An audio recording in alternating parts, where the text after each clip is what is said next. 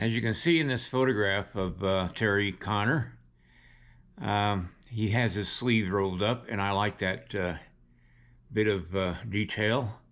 And I'm going to have that on his arm as well. So I need to get some muscles uh, sculpted underneath the shirt first before I can do that because I got to have the muscles continue out to the uh, wrist. And so that's what I'm going to do right now. Time to play with some clay.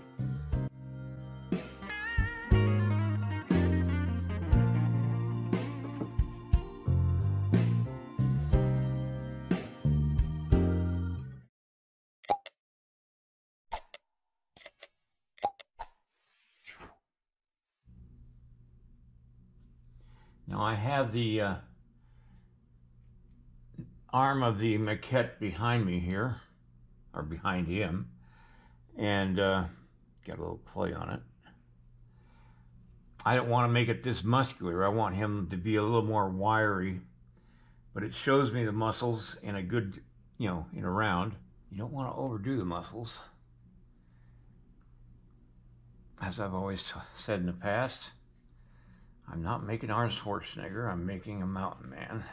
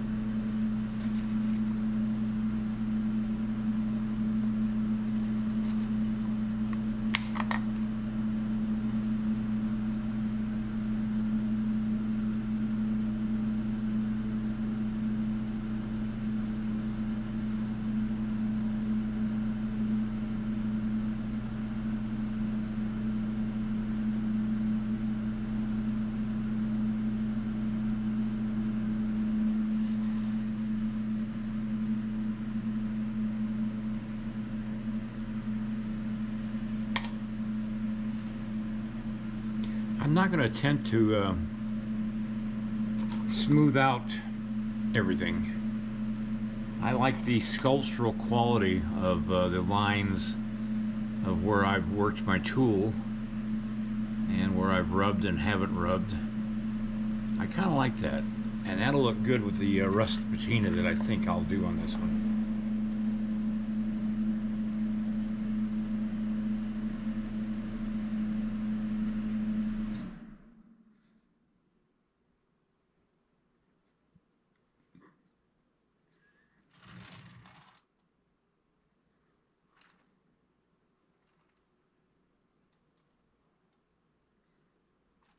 The shirts tended to be real roomy back then. It's because it was almost like one size fits all. There weren't any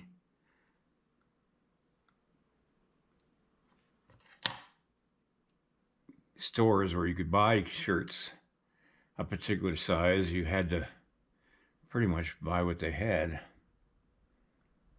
And so that's why this shirt would be roomy. because it uh, was meant to be.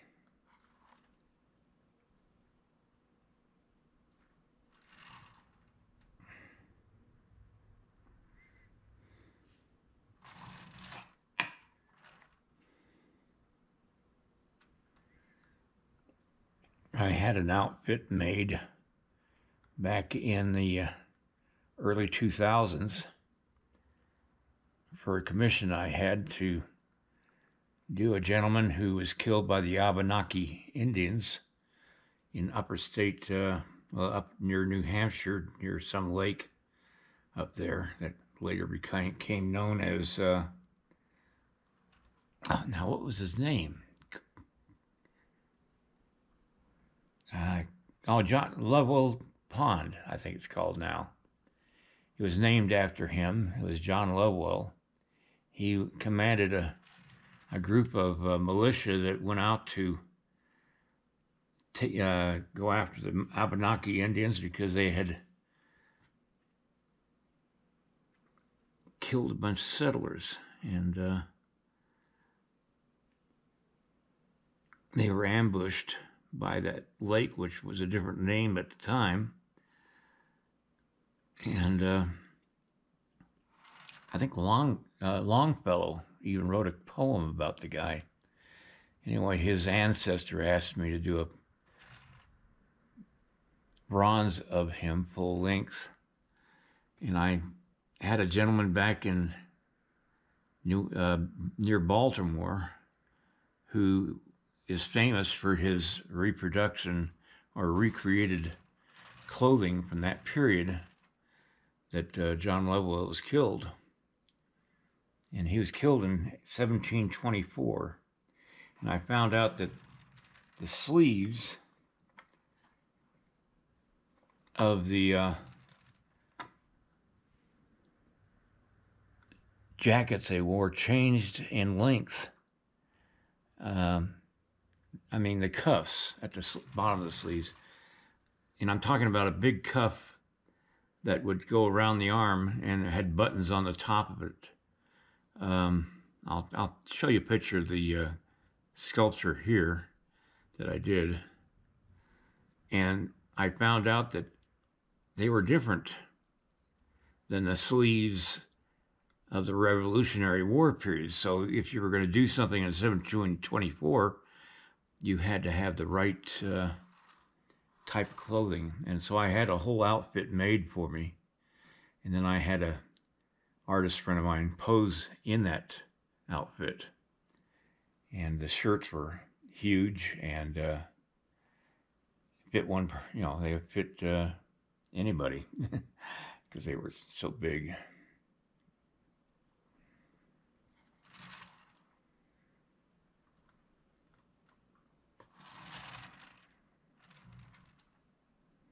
I think it's fascinating to do period pieces because you learn so much about how things were constructed and how what kind of clothing people wore.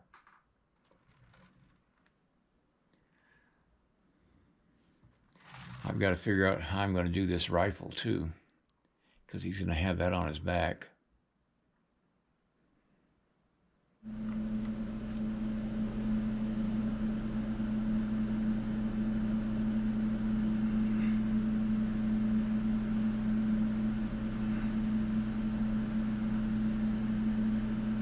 I'm not going to put a lot of detail in these eyes. I like the way they are.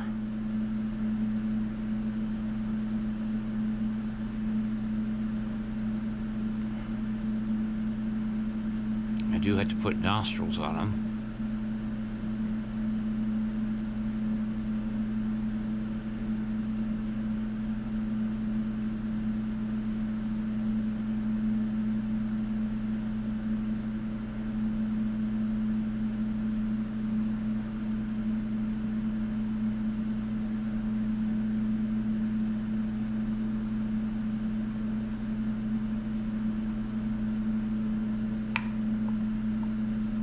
He looks like he's really intently looking into the distance.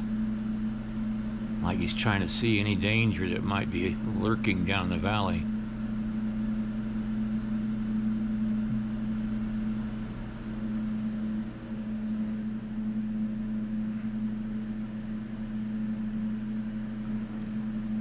I just want to remind you that I do have instructional videos on how to sculpt. I got nine instructional videos that you can order and they're all on Vimeo. I no longer offer DVDs only because very few computers nowadays are being made with DVD players and uh, my DVD burner doesn't work anymore so that was a big factor in me not doing more any more DVDs But if you want to order some as a Christmas gift, if you order two or more of my uh, instructional videos, I include an extra video that you'll receive a code and uh, to open it and a link to go to on Vimeo to watch it, and you can watch it as many times as you want as long as you got that code and the link. And it's instant. As soon as I see your purchase on PayPal, I send you the link through your email. And if it's for somebody in particular that you want to give it to as a Christmas gift, I'll send it on Christmas Day.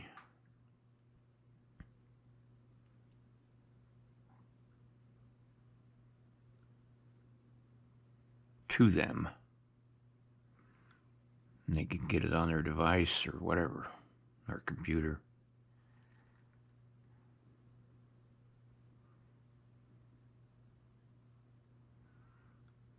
I discussed tools, I discussed clay, and uh, I have a lot of tips and tricks in my videos. You can see the link, like I said before, in the video link below this video. Description in the link below this video. Sorry, my magnifiers keeps on hitting the camera.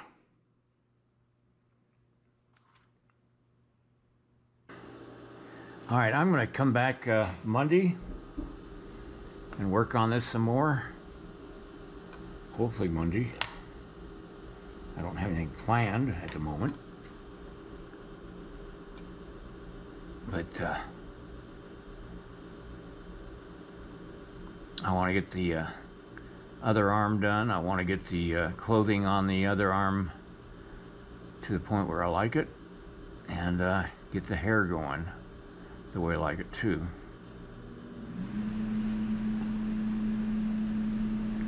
So all of you have a great rest of the weekend and I'll see you next time. Please give me a like and a subscribe and ring the little bell. Also, don't forget I have instructional videos available now online. The link below this video shows you a link to a review of all nine videos. Later, everybody. Good night.